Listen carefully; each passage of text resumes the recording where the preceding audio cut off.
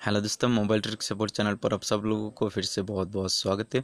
तो दोस्तों, आज की इस वीडियो में आपको दिखाने जा रहा हूँ व्हाट्सअप की ऐसे दो सीक्रेट ट्रिक्स के बारे में जो बहुत ही इंपॉर्टेंट और बहुत ही यूज़फुल होने वाला है हर व्हाट्सअप यूज़र के लिए, ठीक है? तो बहुत ही बढ़िया ये ट्रिक्स बताने वाला हूँ दोस्तों, जो सीक्रेट है, बहुत लोगों को ये पता नहीं है। जैसे कि दोस्तों, सबसे पहला जो ट्रिक्स होगा, ये कुछ इसी तरह का होगा, जैसे कि अगर आपको कोई बंदा मैसेज भेजता है व्हाट्सअप पर, उसके बाद में उसको डिलीट कर देता है तो आप उसको कैसे चेक कर सकते हैं कि उसमें क्या मैसेज भेजा था और क्या उसको डिलीट कर दिया, आप उसको रीड करके देख सकती है बहुत ही आसानी से, ठीक है?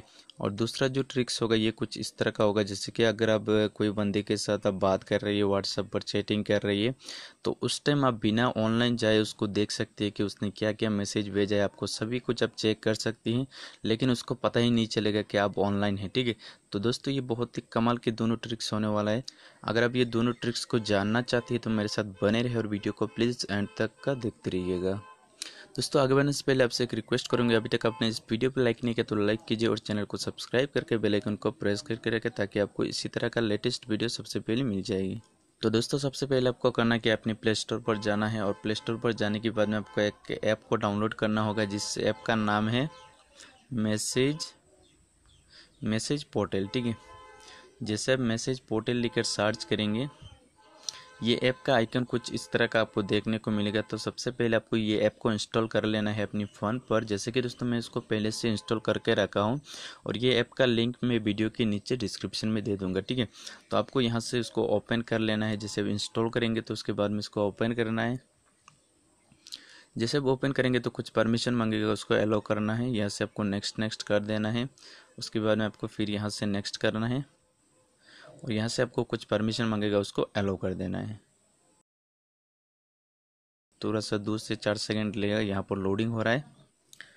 तो यहाँ पर मैंने अपने सेकंड फ़ोन पर चला आया और यहाँ से मैं मैसेज भेजूँगा, जैसे कि हाय हेलो दो मैसेज मैंने भेज दिया उसके बाद में मैं इस मैसेज को मैं डिलीट कर दूँगा, ठीक है? तो देखिए, मैं इस मैसेज को मैं डिलीट कर देता हूँ यहाँ से।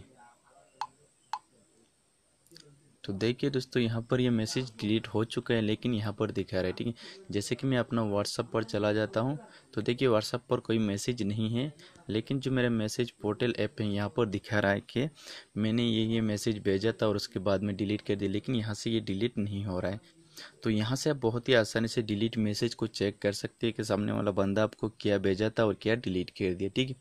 और दूसरा जो तरीका है दोस्तों ये इसमें आपको करना क्या है, देखिए तो मैं अपना सेकंड फ़ोन पर चला आया और यहाँ से मैं फिर से मैसेज भेजूँगा।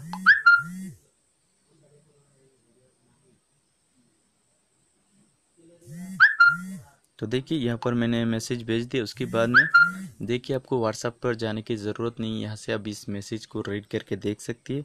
लेकिन देखिए, यहाँ पर कोई ब्लू टिक मार्क नहीं आया। जैसे कि दोस्तों, हम सबको पता है कि अगर आप कोई बंदा मैसेज पढ़ लेता है तो उसके बाद में यहाँ पर आपको देखने को मिलता है ब्लू टिक मार्क ठीक है?